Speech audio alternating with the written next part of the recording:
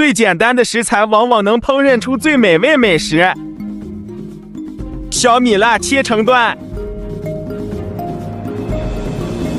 蒜切成末，芹菜切成段，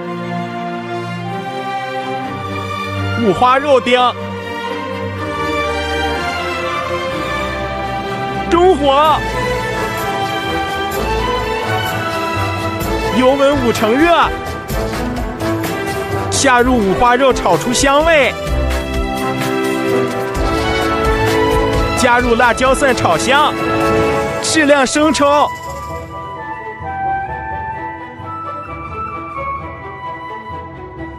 适量蚝油，